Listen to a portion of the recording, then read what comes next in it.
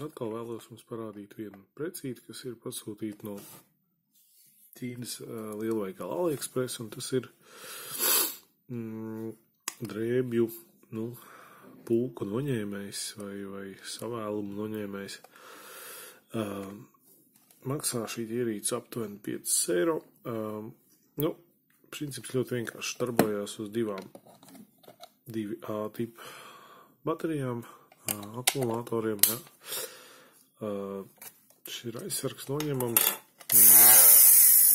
Faktiski griežās divi propellerīši, kas arī tā kā noņem sapulku.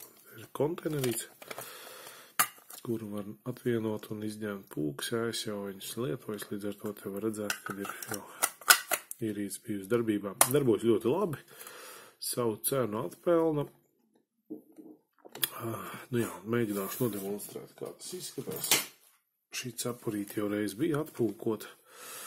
Tagad viņa izskatās labi, nu, bet tomēr jau sāk atkal pulkoties. Nu, tad mēs vienkārši ieslēdzam. Faktiski virzam viņu turp, turp, virzienam nav būtisks nozīmes. Vienkārši virzam pāri, pāri un ap. Liek tāds šeit savēlumi smuku noņem. Bet varbūt ne ideāli, bet, bet tomēr jauka apkūko.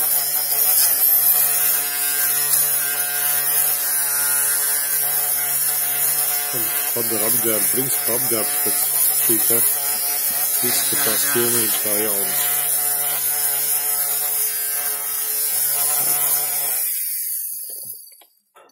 Tātad, lūk, jau mēs varam redzēt, kā prātīši savu darbiņu darīs, jā, un pūciņas ir jau noņēmis. Jā, tā kā, nu, šāda tīrīca. Ļoti lieliski nodara saimniecībā, ja ir drēbes, kas pūgojās, vilna, ņemam, slēdzam, darbojamies, nu, faktiski drēbi var padarīt principā, kā jaunu.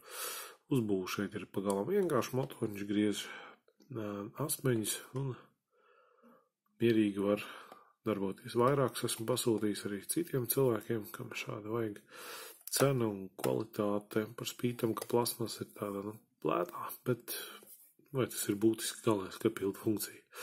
Un tāda lūk ierīce. Protams, ja jums vajag, tad links būs zem video, pasūtiet, pārbaudīts, ir to vērts. Paldies!